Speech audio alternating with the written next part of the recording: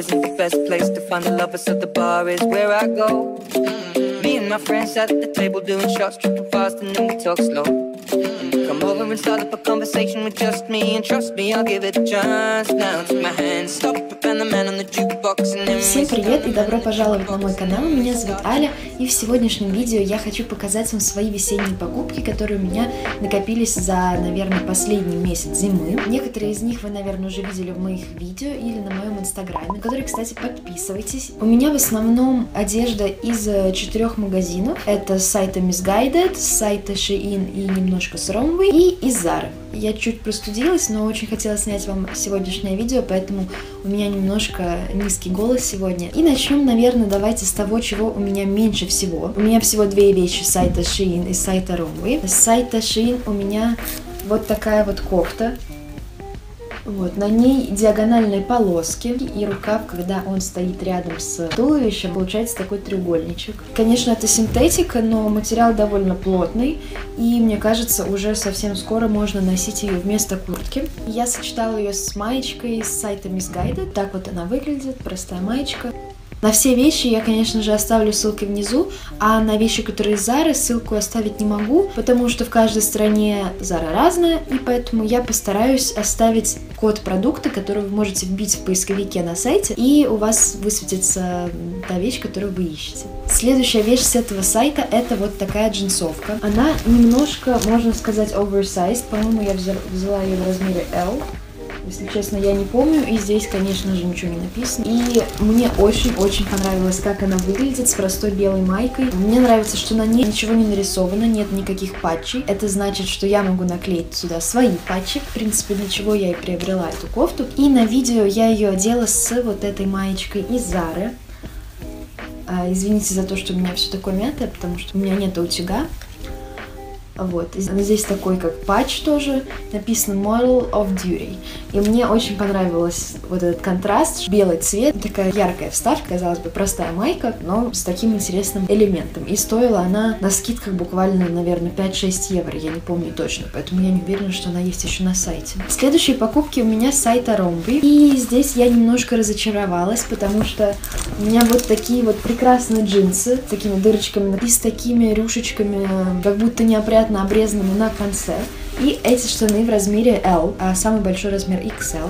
Я в них не влезла. Несмотря на то, что я ношу штаны 36 иногда 38 размера, то этот самый предпоследний большой размер, в общем, я не знаю, на какого человека это рассчитано, потому что они, кстати, выглядят очень большими. Может быть, к лету я постараюсь в них влезть. У меня за окном строится дом, реставрируется, поэтому здесь очень странные звуки, но я надеюсь, что вам они не очень сильно слышны. Я сегодня попиваю Просто ужасно травянистый чай, потому что мне нельзя заболеть сейчас. Итак, следующая вещь у меня также с сайта Rowy. И это вот такой вот розовый свитер. Я просто влюбилась в этот цвет, хотя на самом деле на картинке он был намного светлее. И что еще важно, на картинке он был намного длиннее, потому что здесь он такой довольно короткий, но его можно одевать со, со штанами завышенной талии, как это сделала я, и выглядит очень-очень здорово. Материал тоже приятный. Кстати, ничего из этой одежды не пахло. Я вообще заказывала вместе с этими штанами, потому что сочетание вот этого небесно-голубого и розового мне очень нравится, но, к сожалению, и сочетала я этот розовый свитерок с вот такой джинсовкой тоже из Зары. А, Ее я купила на распродаже, на скидках. И сзади здесь такие интересные рисунки. Мне напоминает вот это Джона Леннона. Может быть, это действительно его глаза. На, на самом деле на ней был еще розовый мех на воротничке, но мне он не понравился, поэтому я его отстегнула. И я видела эту кофту еще, наверное, в сентябре. Я ее мерила, кстати, даже, по-моему, она где-то во влоге у меня висела на вешалке. Она стоила что-то около 60 евро. Я подумала, что это дороговато. И сейчас на скидках я купила ее за 20 евро.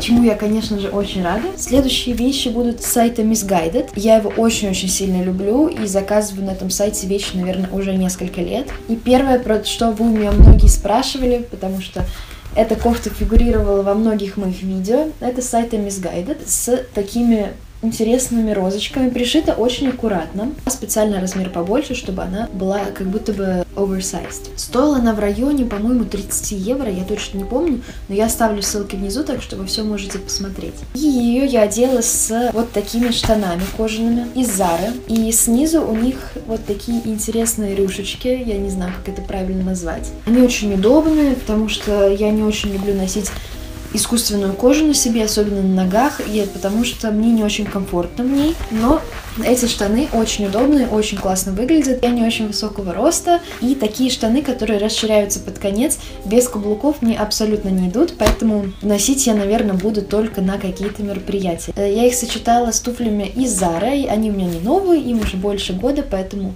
я сомневаюсь, что их можно где-то купить, но да, это туфли из Zara. И раз уж я заговорила про кожаные штаны, в Заре я приобрела еще одни кожаные штаны. Э, очень простые, но они также расширяются немножко под конец. Вернее, я их могу носить только с каблуками, потому что выгляжу как маленький гной. Это были последние штаны в Заре, и я не уверена, что смогу вам дать номер, потому что на них не было никакой этикетки. Я просто подошла, спросила, сколько они стоят, и мне сказали, что они стоят 10 евро. 9,99. То есть я не знаю, сколько они стоили, но думаю, в районе 30-40 евро мне удалось приобрести на скидках их за 10 евро. Следующая моя покупка с сайта Miss Guided, вы уже видели ее в нескольких моих видео, и я получала довольно много комментариев, откуда же эта кофта.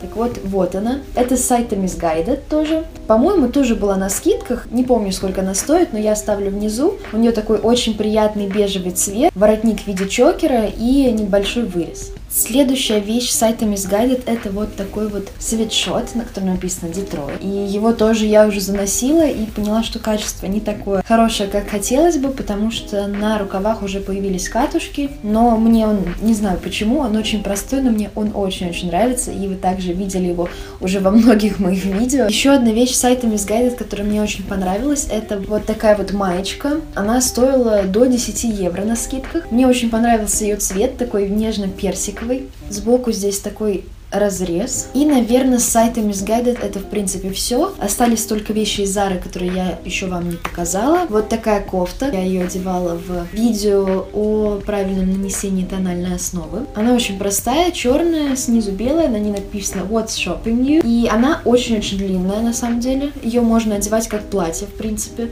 летом, но я ее чуть-чуть заправляю в штаны, сзади чуть опускаю и выглядит как будто кофта. Следующая вещь из Зары сейчас на мне. Это вот такая кружевная кофточка. На самом деле я под нее одела маечку из Зары, потому что она просвечивается. Вот. Но мне очень нравится, как она выглядит, особенно вот этот воротничок сверху. Мне кажется, очень элегантно. Следующие две покупки из Зары это две пары вот таких штанов. Они вельветовые, или как это правильно сказать, бархатные, наверное. И одни синего цвета. Я не знаю, если вам видно, но они так красиво переливаются из темно-синего в такой электро-синий. И точно такие же штаны, э, только такого фиолетового серого цвета. Обе пары стоили по 10 евро, также на скидках, но выглядят очень здорово, потому что вроде бы как ходить в них очень удобно, потому что это все-таки как спортивные штаны, но при этом выглядит интересно, а не просто серые спортивки. И следующая покупка из Zara это вот такие вот ботиночки. Это кожа пони, наверное. Они стоили 80 евро, потом они стоили 30, и я приобрела их только за 20. Я пока ни разу их еще не одевала, потому что у нас постоянно в Париже идут дожди, и я не хочу их испортить, потому что они мне очень нравятся. Следующие две покупки из Зары это верхняя одежда. Это искусственный мех здесь сверху, и мне очень нравится, как она сидит. Она выглядит действительно как пальто, она не слишком теплая, потому что она чуть-чуть совсем может быть толще простого свита. Пуговки на заклепках. Мне очень-очень нравится сам силуэт, вот эти рукава три четверти, довольно-таки большие. Выглядит очень-очень здорово, я прям влюбилась в эту кофту. И следующая вещь, которую я ношу сейчас, наверное, почти каждый день. Я раньше раньше всегда в осеннюю и весеннюю погоду носила пальто. У меня никогда не было пуховика, разве что, наверное, совсем в детстве. И в Париже, на самом деле, наверное, может казаться, что в Париже все такие красивые, нарядные, но мой университет находится в 13 районе, то есть э, это такой Чайна-таун. И я подумала, что пора бы мне приобрести пуховик, потому что иногда я стала вообще ходить в университет в спортивках, и пальто со спортивками и угами выглядит довольно смешно, поэтому я решила приобрести себе пуховик. Я нашла вот такую вот курточку в Заре, стоила она в районе 40 евро, там по-моему, был еще черный и красный цвет. Так это выглядит. И сбоку кармашки простые. Эта курточка.